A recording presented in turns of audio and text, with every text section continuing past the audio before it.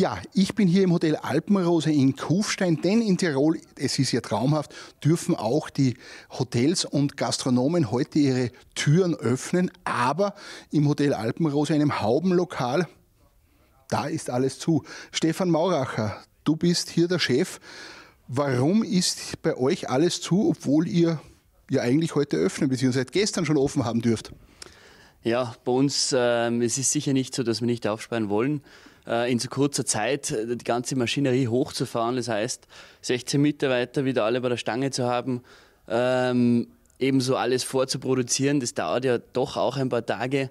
Ähm, die Planungsmöglichkeit im Vorfeld war uns einfach ein bisschen zu kurz, um heute schon aufzusperren, beziehungsweise gestern und haben das jetzt versucht oder versuchen es oder schaffen es auch, am Donnerstag dann aufzusperren und ab Donnerstagmittag unsere Gäste nachher wieder zu verköstigen und zu verwöhnen.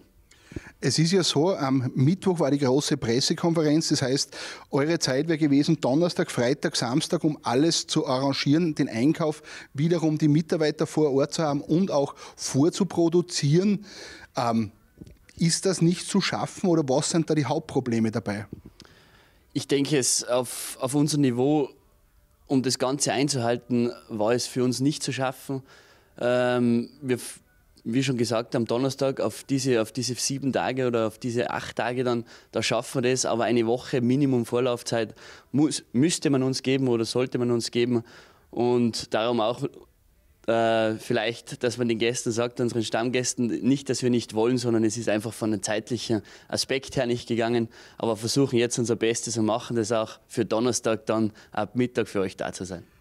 Es ist ja jetzt so, ich bin ja durch Kufstein durchgefahren und da seid ihr nicht die Einzigen, die nicht gestern aufgesperrt haben, sondern es gibt auch viele andere, die, andere, die das nicht geschafft haben. Ähm, was haben die Gäste eigentlich gesagt dazu, dass sie eigentlich wieder kommen dürften, dass sie bei euch ab Donnerstag wieder kommen können? Äh, wie ist die Reaktion äh, der Gäste? Habt schon Reservierungen viele? Wie schaut es aus? Ja, das war ganz spannend. Ähm, ich habe lang damit mit meinem Team gekniffelt, wann wir überhaupt aufsperren. Äh, dass es vor Donnerstag nicht gegangen wäre, das, das, das war uns bewusst, weil es von der Zeit her nicht gegangen ist. Aber da doch unsere Stammgäste dann auch äh, wieder reserviert haben, ab einem gewissen Zeitpunkt doch noch etwas verhalten, aber es kommt was, das ist das Schöne, äh, vielleicht aus Loyalität beziehungsweise auch aus Genuss weil der Mensch wieder genießen will und überhaupt die Weihnachtszeit, besinnliche Zeit mit der Familie oder vielleicht auch mit der Firma wieder einen kleinen fröhlichen Tropfen, Wermutstropfen zu haben bei uns. Und deshalb ja, haben wir eigentlich schon gesagt, wir sperren jetzt wieder auf, weil es doch schon wieder Buchungen und gute Ambitionen zu Buchungen gibt ähm, die Planungssicherheit, die fehlt ja jedem in der Gastronomie und Hotellerie, das höre ich immer wieder. Ähm, ihr wisst nie, wann kommt der nächste Lockdown, wann müsst ihr wieder zusperren. Wie ist das als Wirtschaftstreibender, als Gastronom, als äh, Hotelier äh, mit diesem Damoklesschwert über einen zu arbeiten? Gar nicht einfach. Äh, nicht nur für mich einfach, ich sage es auch für meine Mitarbeiter, ganz, ganz schwierig. Ähm, ich kann es nur sagen, wenn ein Restaurantleiter oder ein Kellner bei mir äh, arbeitet, der rechnet ja nicht nur mit dem Lohn, sondern der hat auch ein Trinkgeld. Ähm, das kann nachher gleich mal eine Autorate äh, sein im Monat, äh, mit dem man aber rechnet. Also man kann jetzt nicht sagen, der Mitarbeiter rechnet nicht damit und das ist sehr, sehr schwierig. Deshalb ähm, appelliere ich schon darauf, dass man versucht offen zu halten jetzt und einfach sagt, okay, wir machen das mit unseren Regeln.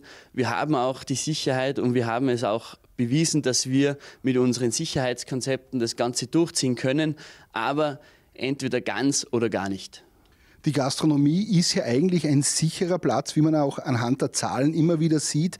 Äh, jeder, der reinkommt, wird ja sofort, äh, muss ja sofort seinen äh, Test beziehungsweise seine Genesung etc. alles nachweisen können. Aber nicht nur das, wenn er bei euch sitzt, muss er seine Daten bekannt geben, dass man eben, äh, sollte es irgendwas sein im Contact Tracing, alles nachvollziehen kann. Das heißt, eigentlich ist man ja da sicherer als wie im Einkaufszentrum. ja, ähm, ich denke, das wissen viele Menschen. Natürlich können wir nicht äh, sagen, wir können nichts mehr zum Essen einkaufen. Gell? Also da tun wir uns schwierig, weil das Essen, das brauchen wir einfach. Äh, die Menschen können auch nicht nur in ein Restaurant gehen zum Essen. Und deshalb versteht man das natürlich auf der anderen Seite auch. Äh, die Sicherheit geht vor, das ist ganz, ganz wichtig. ich habe selber Opa und Oma, äh, wo man einfach drauf schaut, auch in Zeiten wie diesen. Doch trotzdem soll man einfach die Planbarkeit für uns mit einer stabilen Politik haben, wo wir schauen können, okay, wir lassen offen oder wir lassen geschlossen. Und das so vorzeitig planbar, dass wir auch einen Spaß daran haben, aufzusperren und nicht im Vorhinein schon wieder mit einem Stress reingehen, was uns gar nicht viel Spaß macht.